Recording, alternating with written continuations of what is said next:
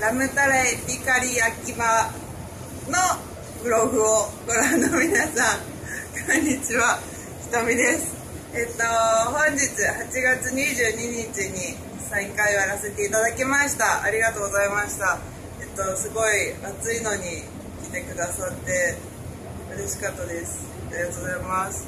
えっとまたぜひやらせてください。また。